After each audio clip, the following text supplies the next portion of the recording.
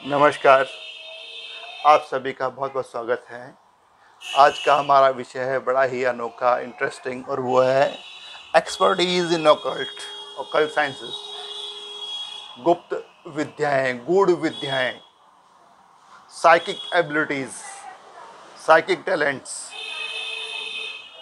तो जब भी हम किसी ये वीडियो को देखते हैं पामिस्ट्री की हो एस्ट्रोलॉजी की हो या किसी टैरो कार्ड रीडिंग हो फेस रीडिंग हो तुम्हारे अंदर से एक, जिज्ञासा पैदा होती है कि काश हम भी ऐसा कुछ बन जाएँ।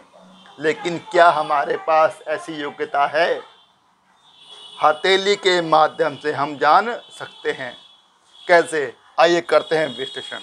देखिए यदि आपका ये जुपिटर माउंट वेल डेवलप्ड हो और यहाँ पर एक रिंग ऑफ़ सोलोमन बनी हो।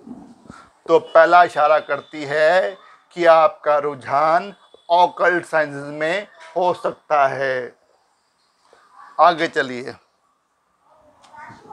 ये हमारा सन माउंट इसके नीचे ये हमारा क्वाड्रेंगल इस क्वाड्रेंगल पर एक क्रॉस हो, जो हृदय रेखा से भी जुड़ा हो और नीचे मस्तिष्क रेखा से भी जुड़ा हो। ये आदमी को और इमोशनल बनाएगा, धार्मिक बनवाएगा, अंधविश्वासी बना सकता है। लेकिन ख़ास बात क्या है इसकी कि ऐसे आदमी के पास ना एक बॉन्ड टैलेंट होता है। और वो होता है कि वह इन गूढ़ विद्याओं में पारंगत हो सकता है। उसके पास ये प्रतिभा होती है, जन्मजात। तो पहला रिंग ऑफ़ सोलोमन, दूसरा क्रॉस, मिस्टिक क्रॉस। आगे चलिए कि यहाँ शनि से एक भाग्य रेखा निकली और वो पहुँच गई यहाँ। जहाँ लाइल लाइन से निकले, चाहे ल्यूनर से निकले, चाहे राव क्षेत्र से निकले, कहीं निकले बस पहुँच जाए शनि पर्वत तक। पहुँचे ना पहुँचे, उससे फ़र्क नहीं पड़ता है। अब देखिए, ये हमारी मस्तिष्क रेखा ये हमारी फेट लाइन। अगर बुद्ध से, लाइफ लाइन से एक रेखा निकली माली यहाँ से निकली, और ये गई बुद्ध की तरफ़। तो देखिए, ये हमारी फेट लाइन, ये हमारी ब्रेन लाइन, ये हमारी आप का बोल दीजिए या बिज़नेस लाइन बोल दीजिए, चाहे बुद्ध रेखा बोल दीजिए। इन तीनों से मिलकर यहाँ पर एक ट्रायंगल बना। इसको बोलते हैं मनी ट्रायंगल वैसे तो नाम से ही मालूम पड़ता है कि शायद मनी का कोई ट्रायंगल है, धन का कोई ट्रायंगल है, लेकिन इसके कई स्वरूप हैं। एक विशेष बात इसकी कि जिसके हाथ में मनी ट्रायंगल बनता है ना, एक तो राहु उस पर अधिक प्रभाव नहीं दिखा पाता, दूसरे उसके पास ऑकल्ट साइंसेस में सफल होने के भरपूर मौके होते हैं। क्यों? देखो रिंग ऑफ़ सोलोमन क्रॉस यहाँ ट्रायंगल बना मतलब हमारे भाग्य ने साथ दिया, हमारी बुद्धि ने साथ दिया और साथ में यहाँ पर व्यवसाय जुड़ गया प्रॉस्पैरिटी जुड़ गई, बुद्धि भी जुड़ गया। और बुद्ध अपने आप में ना एक बहुत बड़ा कारक है साइकिक एबिलिटीज़ के पीछे। तो अगर हमारे पास तीन भी कारक हैं फैक्टर रिंग ऑफ़ सोलोमन ये क्रॉस और ये मई ट्रायंगल इतना ही काफ़ी है, लेकिन आगे चलते हैं। देखिए, ये हमारा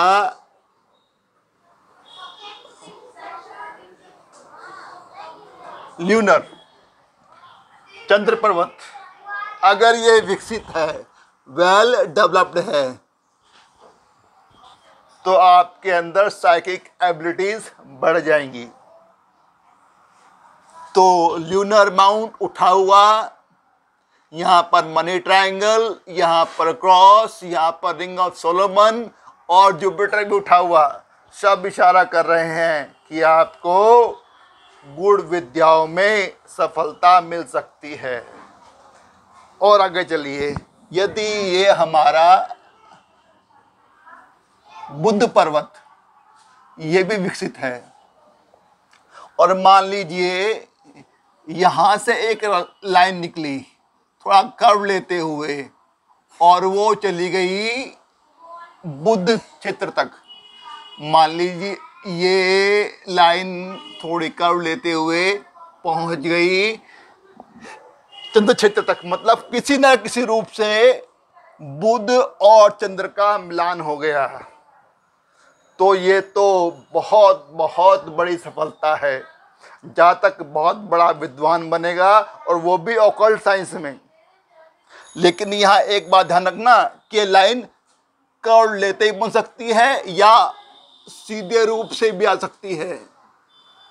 एक और है ऑकल्ट साइंस अगर यहाँ वेल डेवलप्ड मून के ऊपर एक ये हाफ़ मून जैसा साइन बन जाए यह भी इशारा करता है कि आपके पास टैलेंट है कि आप ऑकल्ट साइंस में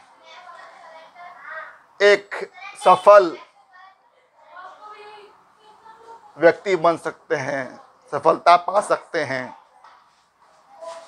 यदि आपके हाथ में लक्षण हैं, या इनमें से कुछ भी लक्षण है, मान लीजिए, बस ये गुरु पर्वत उठा हुआ है, क्रॉस है और मनी ट्रायंगल है। इतना ही काफ़ी है। एक सफल ऑकल्ट साइंस एक्सपर्ट बनने के लिए।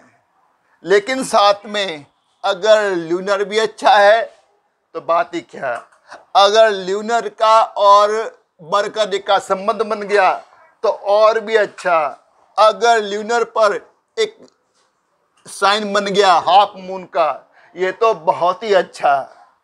सब इशारा कर रहे हैं कि आपके पास प्रतिभा है, कि आप किसी ओकल्ट साइंस में, चाहे वो एस्ट्रोलॉजी हो चाहे वो पामिस्ट्री हो, चाहे वो फेस रीडिंग हो, चाहे वो टैरो कार्ड रीडिंग हो, ऐसी कई कई विद्याएँ हैं, गुप्त विद्याएँ, उनमें आप पारंगत हो सकते हैं।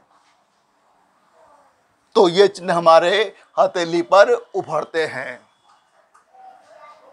आशा करता हूँ आपको बातें समझ आई होंगी। आपने समय निकाला वीडियो को देखा, आपका बहुत बहुत धन्यवाद।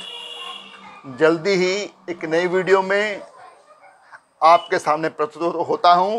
तब तक के लिए बाय बाय नमस्कार, थैंक यू।